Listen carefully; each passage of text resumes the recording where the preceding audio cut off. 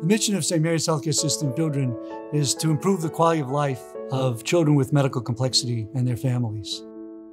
I'd like to say that St. Mary's is the rest of the story in pediatric healthcare. We're the ones that step up where there's no one else to do that work.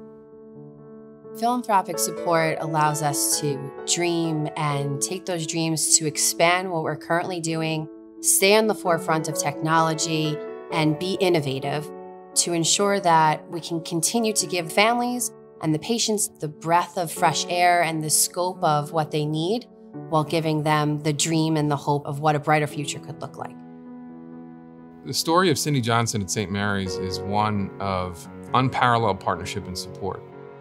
I think the legacy of her commitment to this organization is one that inspires everyone here. What we do for children is amazing.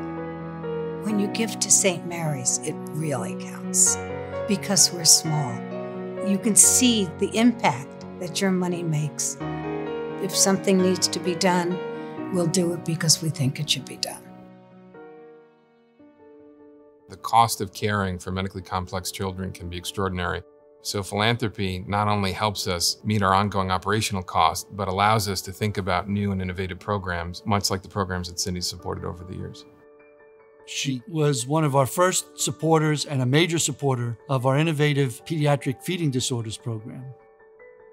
It took going to 13 people before finding St. Mary's. We saw seven different lactation consultants, switch pediatricians, saw four different feeding therapists and uh, GI to get a series of tests done. We couldn't find the support that we needed. And then our pediatrician told us if St. Mary's can't feed a child, no one else can. And when I arrived, I understood why she said that. It was literally the miracle that we prayed for.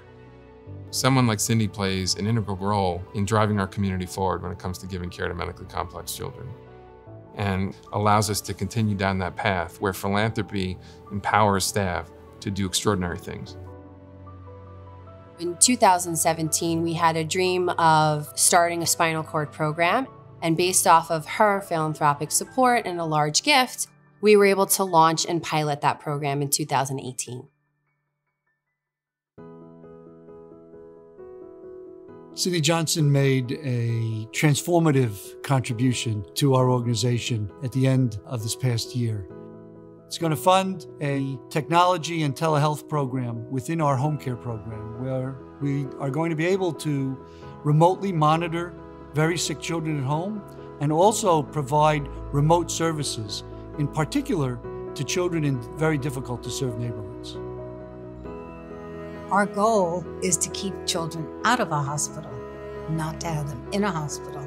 And telehealth will enable us to do that because a lot of things that are done in hospitals can be done at home. We believe that this is going to be a model of care that can be replicated throughout the country, maybe throughout the world. If you look at our evolution as an organization, it's punctuated by extraordinary new programs, extraordinary new developments, and Cindy's played a role in all of that.